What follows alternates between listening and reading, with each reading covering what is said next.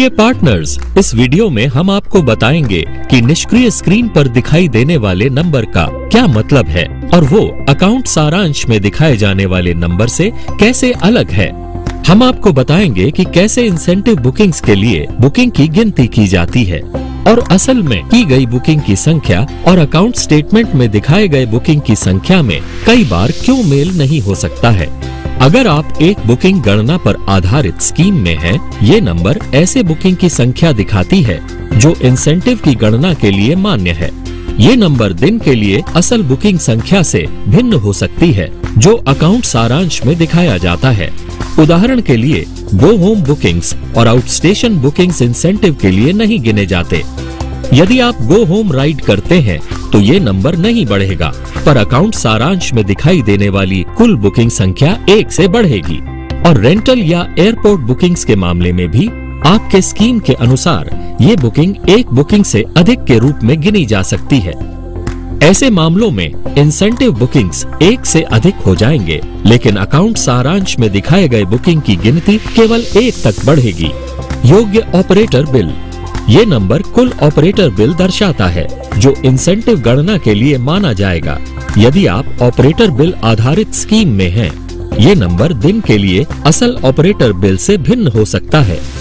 उदाहरण के लिए आपकी स्कीम के अनुसार रेंटल बुकिंग के लिए ऑपरेटर बिल को राइड के हर घंटे के लिए एक निर्धारित राशि के रूप में गिना जा सकता है। मान लीजिए कि रेंटल बुकिंग दो घंटे की थी और ऑपरेटर बिल प्रति घंटे के लिए आपकी स्कीम के अनुसार दो सौ रूपए था। तो इंसेंटिव के लिए मान्य ऑपरेटर बिल के लिए गणना इस प्रकार होगी। 200 सौ गुणा दो बराबर चार सौ। ये वो नंबर है जो यहाँ अपडेट किया जाएगा।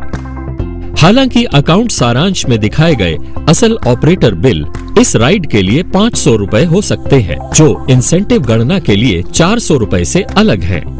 कृपया धीरज रखें, क्योंकि नेटवर्क या सिस्टम में विलंब के कारण ये नंबर अपडेट होने में 15 से 20 मिनट लेते हैं। भले ही आपकी बुकिंग के बाद नंबर अपडेट न हुआ हो, पर आश्वस्त रहें कि अगले दिन आपके इंसेंटिव के लिए सही राशि होगी। यहाँ एक और महत्वपूर्ण बात याद रखने की ये है कि इंसेंटिव साइकिल खत्म होने पर ये नंबर रीसेट हो जाते हैं।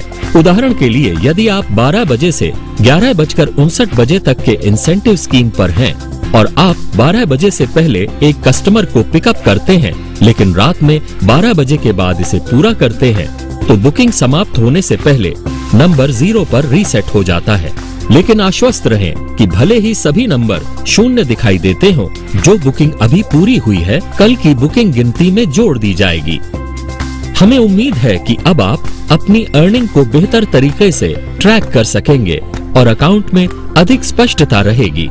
नवीनतम ओला न्यूज़ के लिए हमें फेसबुक पर www.facebook.com/olapartners पर फॉलो करें।